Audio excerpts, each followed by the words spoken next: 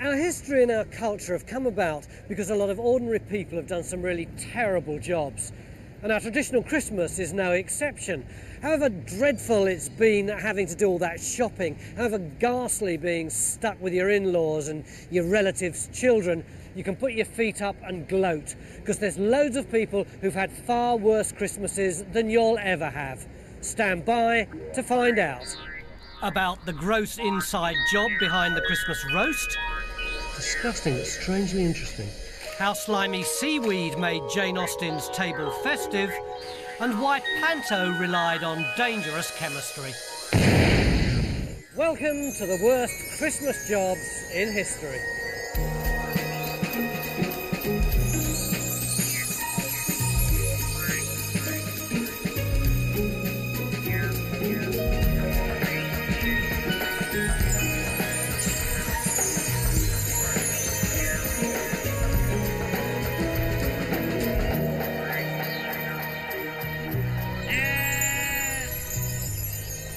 Could be the worst Christmas job.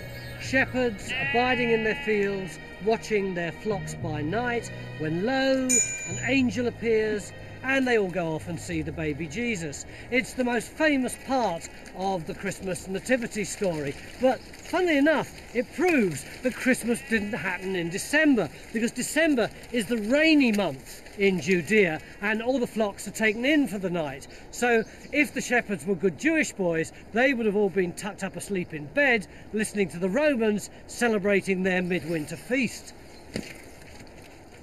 The Roman feast of Saturnalia lasted from the middle to the end of December. They gave each other presents, they stuffed down food, they drank till they were sick, and they nursed monumental hangovers. Saturnalia was so popular that when Christians tried to get people celebrating Jesus' birth in March or April, it never caught on. That's why they tack their religious feast onto this older pagan boozer. So next time you're at the office Christmas party and someone starts bleating on about this not being the real spirit of Christmas, tell them they're wrong. Shoveling down food and guzzling booze is the original spirit of Christmas. This one for me? Yes. Cheers. Was it the Romans who actually invented binge drinking though? They drink an awful lot at the Saturnalia. It's a time they're very luxurious. They eat a lot and then they drink a lot. But also in the first century AD, they developed drinking on an empty stomach for the first time. Could they hold their liquor? No, and we have plenty of plenty of information about people being sick, people throwing wine cups at parties, and also in wall painting we find images of people throwing up, right, aided by slaves often. And it's throwing up that's central to our first worst job, which used to take place in the Roman dining room. And by an eerie coincidence, we actually happen to have a Roman dining room right next door. Welcome to the world of the puke collector. Come. Good Lord, a room full of Roman revellers looking remarkably like the people in the pub next door. Roman wine was deadly stuff. When the party really got going, the slaves, who I'm calling puke collectors, had to run around clearing up. Other than that, it was pretty much like our Christmas lunch, right down to the party hats. Fiona, what is that hat? It's a Phrygian cap. A Frisian cap. Do women wear them too? Oh, yes. And what do they signify? They signify liberty. They're the cap given to slaves when they're freed. But at the Saturnalia, everybody wears them because it's the idea that this is the time where the poor and the rich and even the slaves will sit down with their masters. And everybody is equal for, let's say, about a week of the year. So Eric doesn't have to be serving all night. Well, this household obviously aren't playing the egalitarian game because not every Roman household does that. So at the Saturnalia, so he's having to stand up. He's still having to work. Eric, this is an egalitarian household. You can sit down, mate. I'll do your job. Thank you very much. John, have you got one of those caps? Can you uh, hold my pipe? There's a common belief I'm the that servant. Romans had a room called a am I? vomitarium where they used to throw up. Sadly for me, it's not quite true. Hang on, hang on. Dave's chucked up. Uh, that's disgusting. You're the slave, so you've got to clear up. He's not going to do it. Of course I have to clear up. This is a worse job, isn't it? Uh, do we actually know that slaves had to clear up the sick at We, parties? we know this quite clearly from literary writers. Seneca's letters are particularly rich on So condemning the excess of drinking and eating, and also the excess of having your slaves do everything for you, even clearing up puke. Puke collectors had to be prepared to do anything. To their masters, they were human tools who had to be invisible. There are some things you can't do. You can't laugh at their jokes. You can't hiccup. You can't sneeze. You can't cough, or they're going to beat you.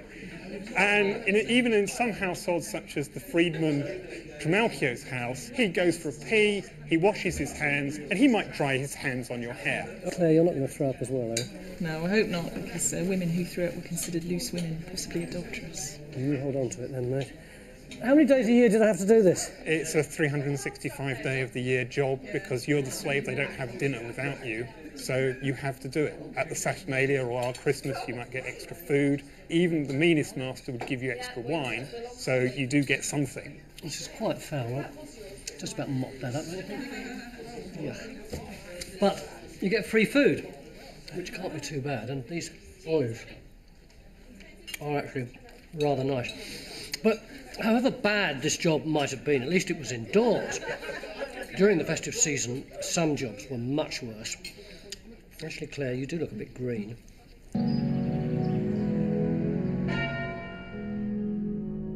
27. 28. Now, this is a strange job. Someone has had to do this every Christmas Eve here in Dewsbury since the Middle Ages, and it gets harder every year because this isn't ordinary bell ringing.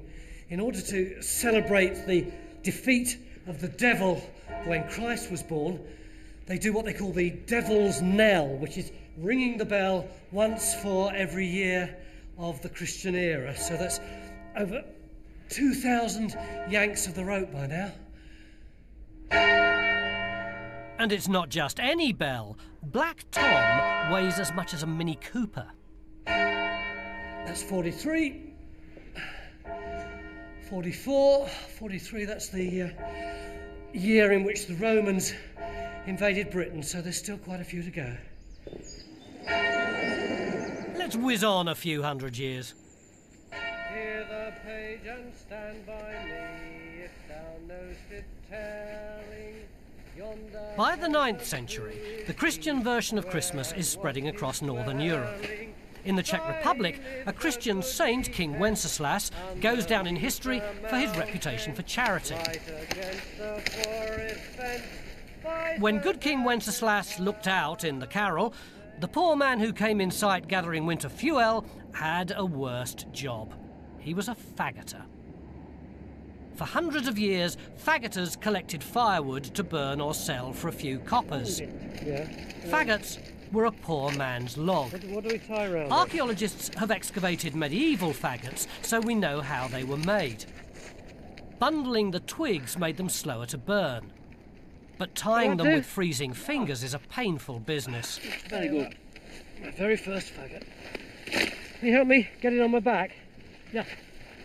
I know this uh, must look like there isn't much to it, but actually, once the enclosures happened and the land that everybody could go on was suddenly under private control, this became a very difficult job because either you had to take the risk of going onto somebody's land and getting caught, or else you bought it off the landlord. Where's my arm go? In which case you paid over the odds for it. Yeah. Okay. Or else you got it on the black market.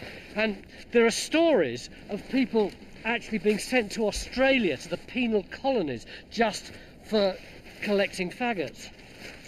So, uh, you know, maybe in the early Middle Ages it wasn't so bad, but after a while it became something that was very, very scary to do. See you later, Harold. Yep.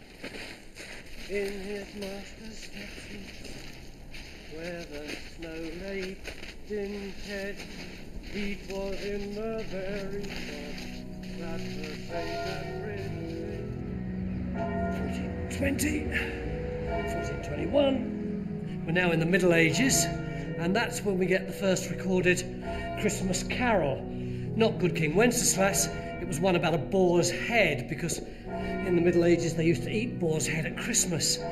But of course, in order to eat a boar's head, first of all, you've got to catch your boar.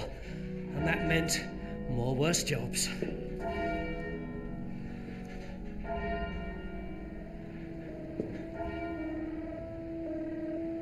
A wild boar weighs up to 40 stone. It can run at 30 miles an hour and leap a four foot gate. When threatened, it's fearless. Its razor sharp tusks can kill and maim. And it's recently returned to the woods of Sussex. In medieval times, you had to catch this king of the forest for the Christmas feast, but it was cold, dangerous work.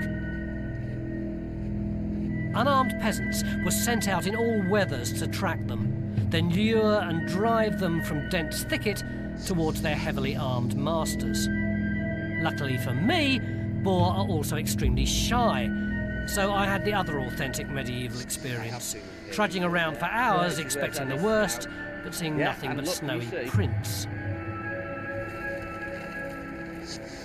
But even once the boar was caught and killed, the worst jobs were just beginning.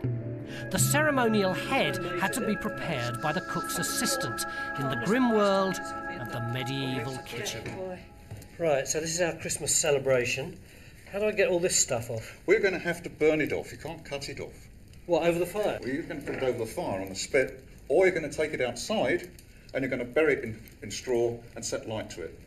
Are we going to do that now? I don't think so.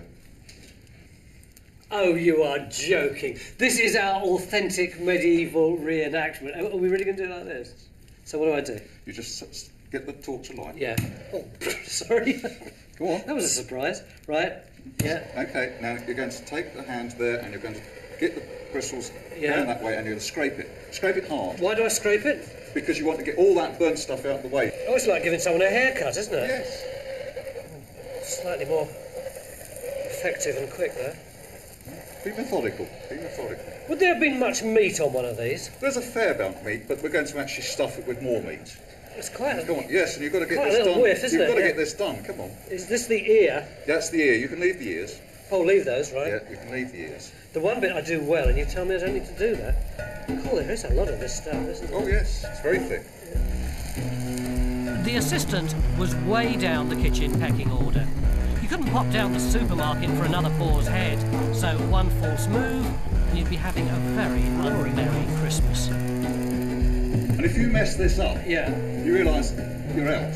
What do you mean out? You're out. There's no job. This is the centrepiece. You've got to get it right. This is the This is testing this is your ground. test. Yeah, Oh, great. And if I did it well? If you did it well, you'll start to get your promotion.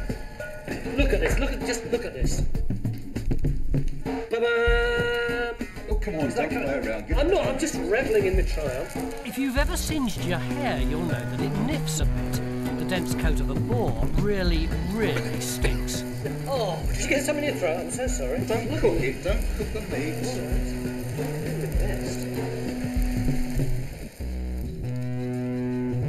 Okay, oh, I think we've about done it. That's pretty clean, isn't it? Yes, it's not bad. Right, what's next? Well, you're going to bone it. You're going to turn it over, Yeah, and you're going to cut yeah, down there. yeah. And you're going to come round there. Okay, and the actual skull is flat down there. Don't cut his ears off. Yeah. Whatever you do, don't rip the cheek open. The head's boned and then reshaped by stuffing it with the boar's meat. After the stomach turning stench of burning hair, the primitive surgery isn't for the faint hearted. Now, you've been, this is his eye there, see? Yeah, so I go on the inside of this? Yep. I don't want to pop it, that'd be quite a No, you mess. don't want wouldn't to. And worse, this is the moment when you can really bog it up.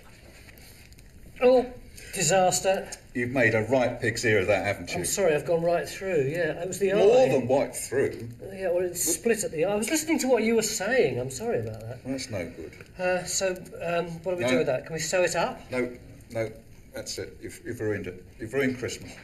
I've ruined Christmas. You've ruined Christmas. Oh, what a stigma. Now, back to the spit.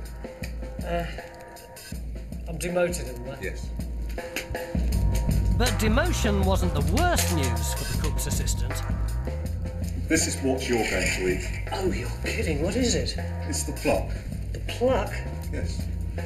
The insides? Yes. Of what? The deer. These are all the insides of a deer that no one else will touch. The recipe's simple. That do you? Parboil them in oh yeah, sticks in bucket of water. Chop into gobbets, that's gob-sized pieces, leaving the windpipe to one side. Oh, it's coming on lovely, this. Right. Add onions, ginger, herbs, a load of bread to make it mushy, and thankfully red wine. Whoa, yes! Do you know that is the nicest thing I've smelled all day? And that's the original Numble or Umble pie, the worst jobber's Christmas treat. Right, eating humble pie. Mmm. you got an enormous alcoholic hit with red wine. It's all right, isn't it? It's all right if you like liver and lights and heart and stuff. Oh, beautiful. Luckily for me, we had a spare boar's head. The cooked head is finished off by making it look lifelike. You rub it with a dubious mixture of lard and soot. So let's find out what the nobility feasted on. Right, here we are. I've got very sooty fingers. I don't fancy that.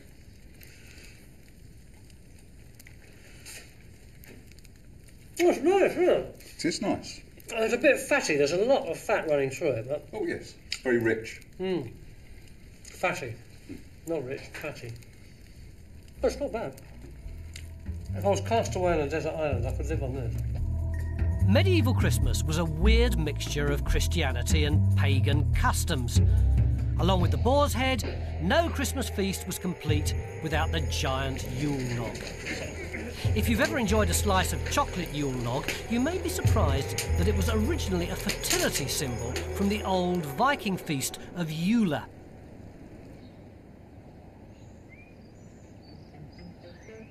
The Yule log had to burn throughout 12 days of feasting, so they needed the biggest tree in the forest. This meant there was a worst job attached. The Yule log fella had to set off in the harshest midwinter weather to take on his toughest challenge of the year.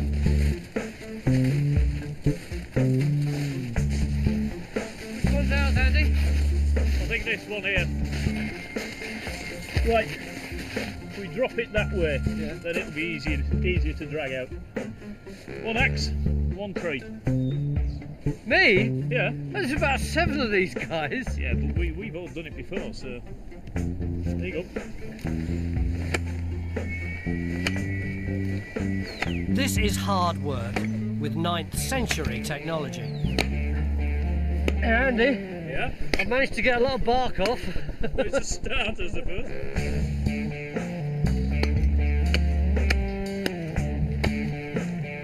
After half an hour, my initial enthusiasm had melted away in a large pool of sweat. And this was pine. With oak or ash, your Yule log could be twice as thick as this, weighing several tons. Yes! Oh, look at that! Excellent! Oh, what a satisfying feeling. Even once the tree's down, there's more hard slog, trimming scores of branches. Fortunately, this time, my fellow Vikings joined in.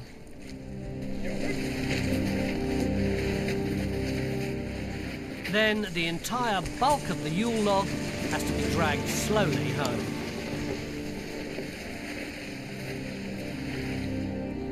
At Yule time, it was the death of the old year and the new year was going to be born. And that's the reason you needed fertility. So you went out into the forest and you found the largest log you could see, the largest tree, and you cut it down. So the log itself is a fertility symbol? Yeah, yes, a fellow symbol, I think, yeah. yeah. And it needed to be green because it should contain the juice of nature. During Yule time, you needed to drink. You drank to Odin, you drank to Frey and you drank to Njord, which also was a fertility garden, And, and you were dependent upon these gods to get a good harvest for the next year. Andy, what do you think the blokes were doing? These guys have been up since first light. They've worked all day. They've probably not eaten hardly anything. So now it's just it's food and beer and warmth. It's just like Christmas nowadays, isn't it? Yeah, it's exactly the same. I mean, it's just this is the place to be. It's as simple as that. Especially after the day they would have had.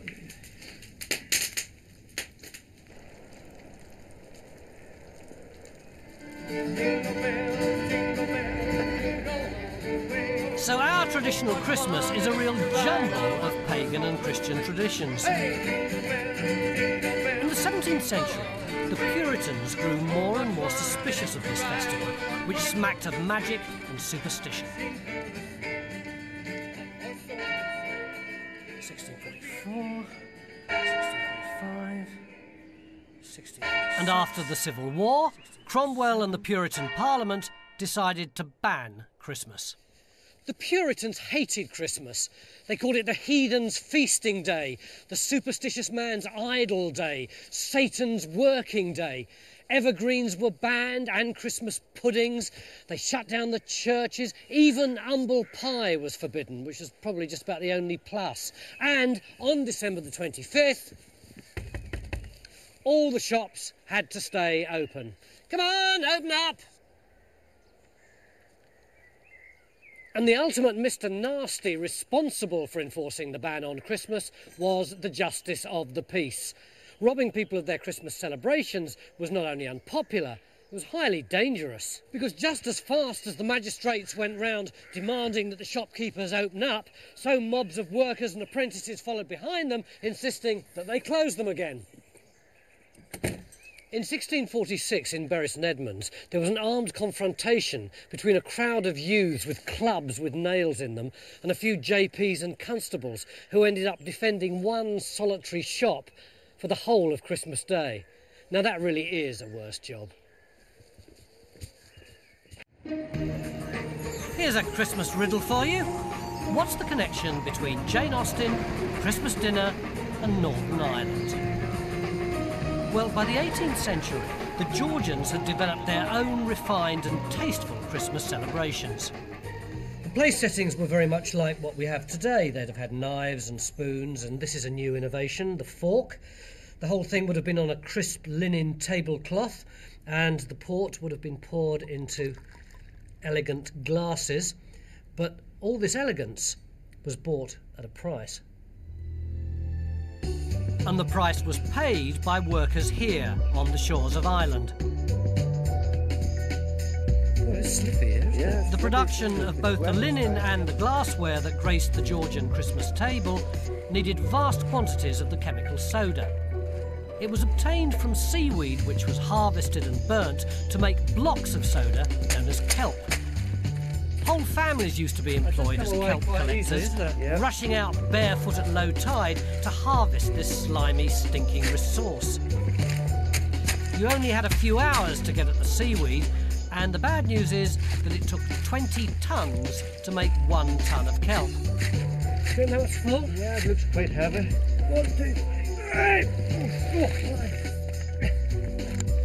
Well, you, you're propelled along really by the weight of the stuff.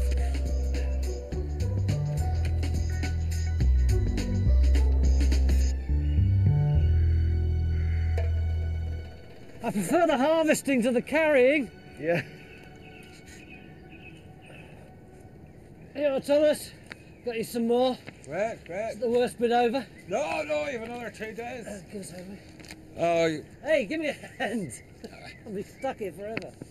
So there's another whole part Yeah. of the process. well, the next stage is burning it. We'll have to reduce it to the kelp, the ashes of the seaweed, and that takes two days. So you have to be in attendance all day today, t- tomorrow, tonight, tomorrow, and tomorrow night, because it needs constantly raked. The fire needs spread evenly around. Okay, so what exactly happens in there then? Well, that slowly burns uh, down to a sort of porridge-like mass at the bottom. Yeah. Then you let it cool off, and it's, uh, it's very, very heavy. It's heavier than lead. becomes a solid mass, and uh, then you break it up. You have to break it up with sledgehammers, and it's then carried to a storehouse. They have to get it in out of the rain because it's very soluble as fast as possible, and it's brought to market. This must have been quite a big industry.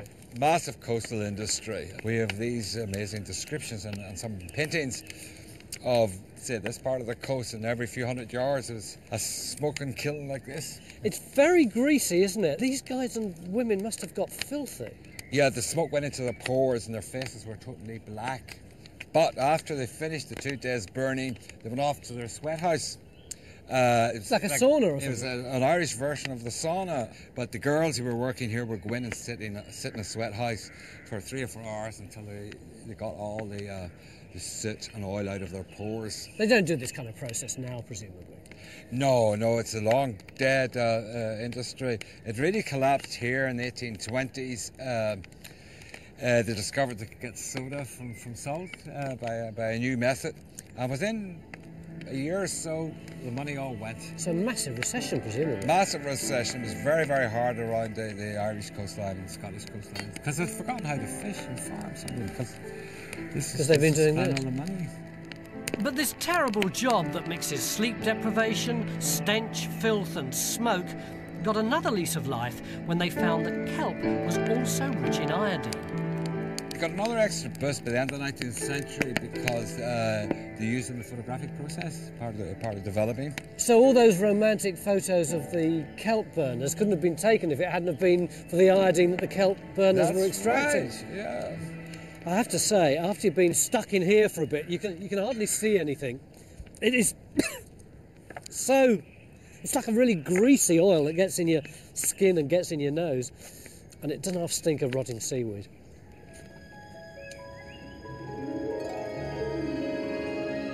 By the 19th century, the festive season was getting much closer to our modern Christmas. Victorians had Christmas trees, Christmas cards, and panto. In fact, panto dates back at least 200 years. Most of the jokes are that old too, and it comes with its own very obvious worst joke. A lot of performers love doing pantomime. To be frank, I can't stand it. Eight, sometimes 12 shows a week, all that dreadful dialogue, lots of screaming kids. But if you are going to be in a pantomime, be Buttons, be the Dame, be Cinderella. Don't be the back end of a cow.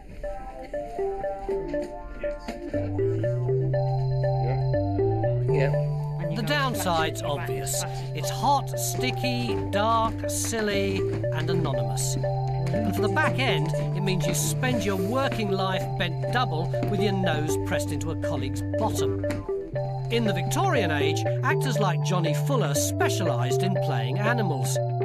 They transformed themselves into spookily man shaped poodles, pussycats,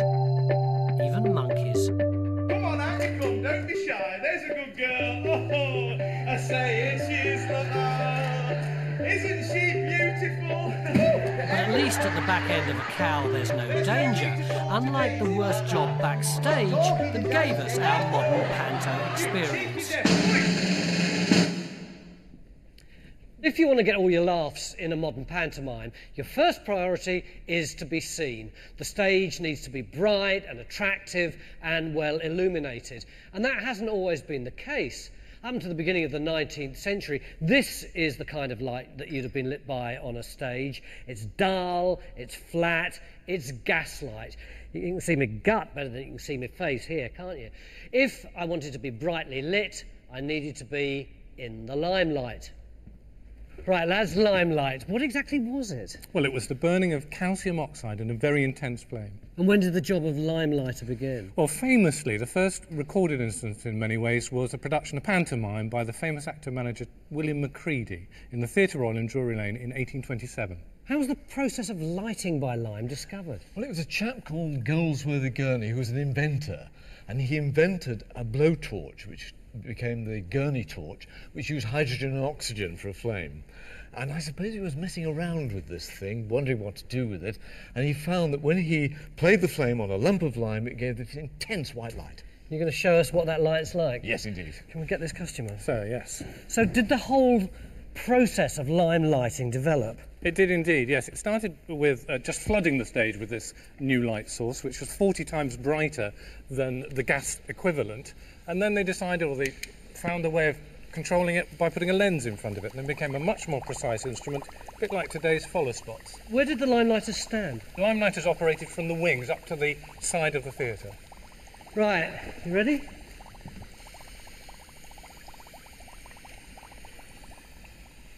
This is gaslight, and this is limelight. Just a week or two ago, me poor old Uncle Bill. Ooh. Neil, you've never seen limelight before, have you? I haven't, that was quite amazing. I don't think you're going to be disappointed now. Why was lime lighting such a bad job? Well, because you were using hydrogen, which is really very flammable, and oxygen. And in fact, to get the hottest flame, you needed two volumes of hydrogen and one volume of oxygen. So where's the lime? The lime is here, this, this little, little thing here. And the limeman's job was to keep the lime in the hottest part of the flame. Just by adjusting those levers? Just by adjusting the levers, and the lineman has to keep the ratio of the two gases in that two to one ratio all the time. Now we had the separate gases in the cylinders.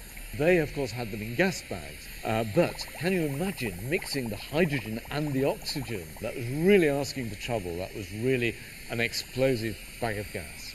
And of course, you'd see an hour or so before curtain up in the West End, coming down the Strand, men with bags of hydrogen and oxygen on their shoulders. And if you were to bump into them with your cigar or your pipe, you'd certainly know about it, I think. Did this stuff ever get out of control? It did. I mean, the Theatre Royal in Edinburgh burnt down in 1875, and although we don't think the lime started it, it certainly helped it on its way because they had gas chambers underneath the building.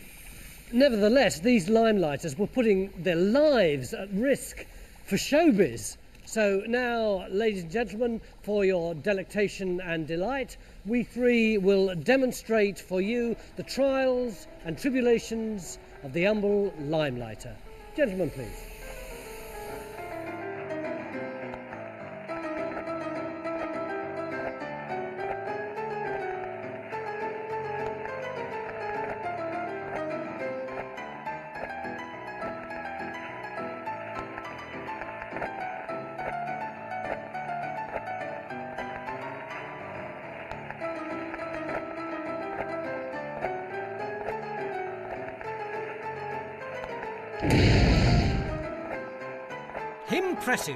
Hydrogen burns, but the reaction creates less energy.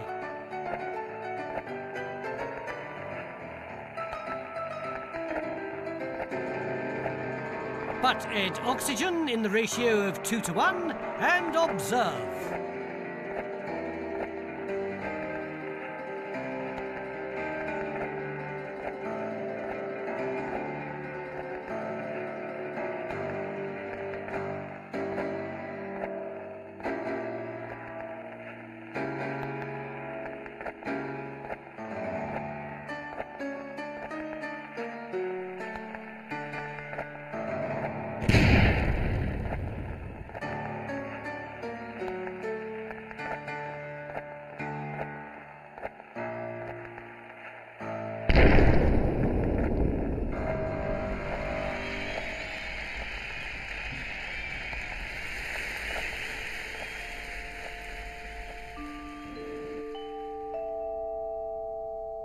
But if fun at the theatre spelt danger, Christmas joy for rich kids meant misery for other children.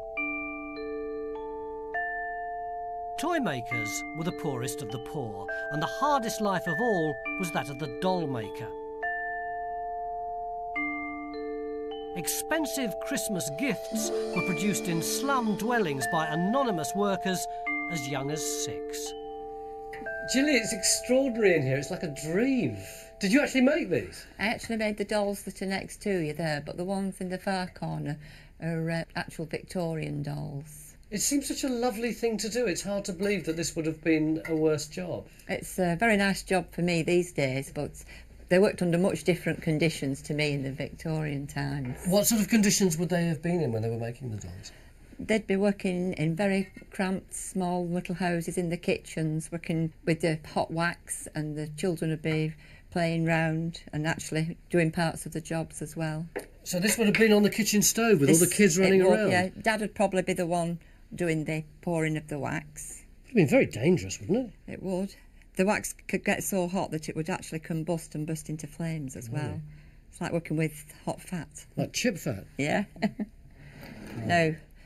if I hold the mould slightly tilted, you can Yeah. pour into the mould. Just pour it all in. Pour it in, that's it. Stop. There we go. Now that has to settle and set a little bit now. How much would a doll like that have cost? Would have been about five guineas, which would be a whole year's wage for one of the workers. The little child who was making the dolls wouldn't have been able to afford to buy one of those. No way, no. They were just for the spoilt rich children. Dolls weren't for playing with, they were expensive accessories. It was fashionable to have dolls with faces modelled on one of Queen Victoria's children. So I take these bands off. That's right. Take the band off now and lift the mould straight up. Okay. That's oh, it. that's not bad, is it? So what do I do? Just Just it gently out? ease it out of the mould now. Okay. Oh, my first little doll. Lovely. Except it does look a bit like an alien, doesn't it? What do we have to do Well, next? all the excess wax has to be trimmed off Yeah. with a scalpel, and the eyes have to be set Yeah. How do we from do the that? inside. But we need to cut the top off the head first. Oh, you're kidding. Yeah, brain surgery now. I've only just made her and she's got a lobotomy already. oh, that's very unpleasant. Why do you do that? That's so the eyes can be set from the inside of the head. Right? So we need to warm the tool up. The So eyes the are eye set in the nicely featureless face. Then comes the most painstaking part of this worst job. They'd have the small Rooting to hairs one with. by one into the And doll's the head eyes as well. is ideally So how do I suited to the tiny So you hold the fingers tool of at an children. angle, Yeah. slightly that way, Yeah. and just press it into the wax. Just a few hairs at a time. What would the Slight- hair have been made of? They used to use human hair mostly on the heads, but it could be diseased the hair because they wouldn't sterilise it as today. So it could be from a, a dead child that died of something awful, and then they'd be working with this hair on the doll. What's worse is that the horse hair they used to stuff the bodies carried tuberculosis. It's really fiddly, isn't it? Yeah, very strange. Imagine doing that on the whole head for hours and hours at a time. It'd strain your eyes, It wouldn't would really. And working on the, and when you come to the costumes, each one of those holes is actually stitched round, and there'd be yards, yards and yards of the fabric done like this to make the clothes. And each each little bit would be stitched by hand, and the, the lighting would be even more of a strain on Yeah. their eyes. So, in the spirit of worse jobs, we put out our filming lights. Oh, that's ridiculous. I can't see anything at all. what would have happened if they'd mucked one up? They'd just have to be scrapped. They wouldn't be accepted by the toy shops if they weren't up to standard. So they won't get any money at all then, Poor things. after all the long hours. Presumably, this was the worst part of the job. Not really. It gets even worse with the uh, painting and the colouring. Then you've got the, the lead in the paints, and if they were licking the brush to get a nice fine point, they'd be full of lead paint. And then there was the arsenic in the colouring as well. And at the end of the day, these poor little kids wouldn't have earned enough money to have a doll of their own. No way, no. They'd be lucky to even get a Christmas dinner. And talking of Christmas lunch.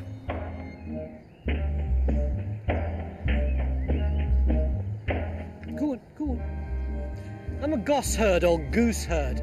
For centuries, if you wanted a goose fresh from the market, there was only one thing to do it had to be walked there.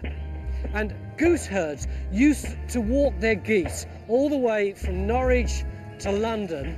That's over hundred miles at the stately pace. All right, all right. Yes, all right. At the stately pace of two miles an hour. Come on. The gooseherds had to sleep rough, and as you can imagine, the charges got fairly grouchy. So it really was an extremely tedious job, but it wasn't the worst poultry related job that there is, and it definitely wasn't the worst Christmas job in history. Come on, come on, concentrate.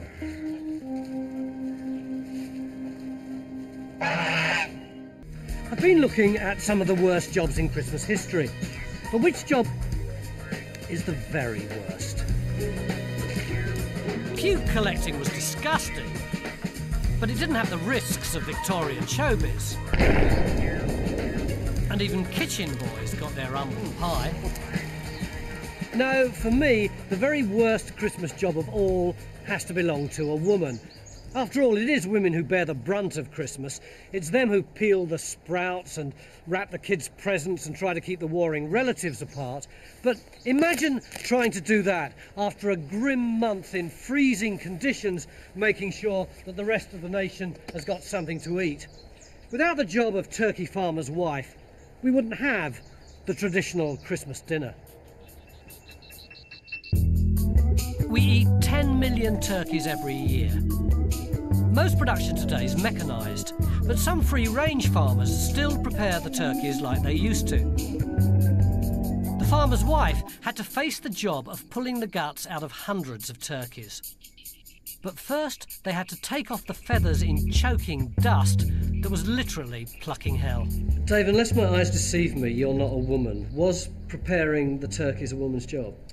Yeah, my, my grandmother used to do um, this, plucking the turkeys all her life. Uh, they used to do four or five hundred at Christmas. So you sling it over your knee like a banjo? Yeah, you can do it however you like, but I normally start on the neck. Yeah. And the more you can pull out, the better. Right. But you've got to be very careful not to tear the breast of the bird. Yeah. And some areas of the bird you can go hammer and tongs, and other areas you just take it nice and steady. Cool, I tell you what, there's a load of feathery dust coming off this bird. Yeah, it is. You'll be finding feathers for weeks after. All the little downy ones that get right up your nose, and then you've also got the problem of your fingers get sore after a while. Yeah. Um, and if you're doing a lot, they actually start to split. Really hurts your Yeah, thumb after a joint while, just there after a while. You really Yeah. know it, and uh, you're using different muscles you wouldn't use the rest of the Yeah. time of year. So. Hey, look, it's coming off, isn't it? That's it. That's it. But this is what you're trying to avoid. Oh, torn a bit of skin. The big rip Yeah. So, what would happen if I presented a plucked bird that looked like that?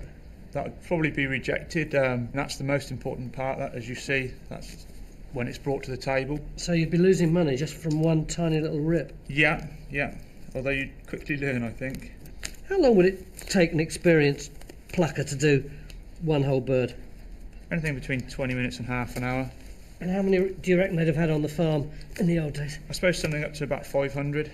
And you had to get them done by Christmas. Yeah. Obviously, the one day when you can't be late. So you're under pressure all the time, aren't you? Yeah, a lot of pressure. Well, can we assume that I've done this wing? Because quite frankly, if I do it properly, it's going to take me about a fortnight. What happened next? Well, they used to hang them to get a bit of flavour to them. Yeah. Um, and then you take the tendons out of the legs, the sin- pull the sinews out of the legs. And that was a woman's job? You'd have to be quite a strong, big, buxom woman to do that. Am I buxom enough? Well, shall we see? Yeah. So what you do now is pull the sinews from the leg. One, two, three. Oh, nothing. Oh, it's easy, isn't it? Yeah. So this isn't the worst part, is it?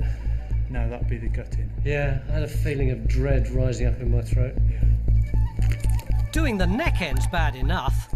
You have to unwrap the skin like a stocking, cut off the neck, and remove the crop, the strange white sack where the turkey stores its food. Then it's over to me for the really gruesome job of tugging out all the innards through the turkey's bottom. Down here and around the vent. Won't all the poo come out? Yeah, well, you've got to be careful. You, you don't, we, you know, we don't want poo everywhere. That's Yeah. the important thing. So So how do I avoid it? just, Just go around the work your way around. Yeah, at a slight angle there. Okay, so now that's loose. Oh, that wasn't bad, was it? That's not too bad. Yeah. Now this is this the bit I want to Yeah. avoid? You, you don't start pulling it yet because you don't want to break the tube. No. You put your hand in. Right. And try and release all of the guts. Go around. Don't want to stain my dress. No. Oh, found something squidgy. Yep. That's it. So just work your hand in and work it over and around. Yeah. And you want to go right in. Apart from going through a lot of very interesting squidgy things, start bashing my hand against the rib cage. Yeah, well, you, you've got the ribs there, and you've got to fetch the lungs out from the ribs. Yeah. And, and it'll rip your knuckles after you've done a few. So you reckon that the women who did this would have had bruised hands? Yeah, bruised and swollen hands. Yeah.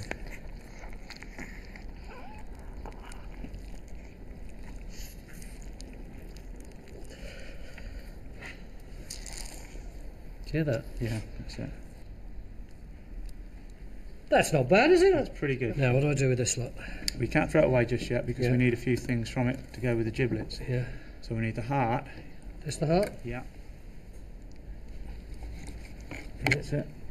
And then the lungs. Yeah. Turkeys were brought to Europe by the Spaniards in We can either 1519. cut or just pull And it's Henry away. VIII who's said to have first had turkey instead of goose for Christmas dinner. I can't tell you the smell that is coming off the. Oh God! I've burst the little sack with all the brown juice. But in it. turkey Yeah. didn't really Peel catch on open. until Victorian times. I'm glad you're doing this bit. And you, and you slice. Up to your wrists in gunk, it doesn't make much difference if it's goose or turkey. And gutting Why are you slicing? is So we want to keep the muscle on the Turkeys are kept cold so they stay fresh stones and the gut stuff. comes out in mm. one blob. Stones? What A stones? little So your hands are is its, bruised on the the rib gizzard. cage Oh. and It uses blue those with stones to grind its food. And then there's the stuff you don't want to eat. Oh, there's stuff. I can see stuff. Yeah. Look at that stuff. So that's the inside of it, and you see there's Oh yeah. Oh, loads of stones and you stuff feel in there. stones and stuff. Yeah. Disgusting, but strangely interesting. Cool. Oh, he hasn't done that. That's a stupid thing to do, isn't it? and now we can scoop this away. That's it. Yeah, we're done with all that. What do you have for your Christmas dinner? Beef. I'm not surprised. Now I have turkey. So that's one done, another 499 to go. One thousand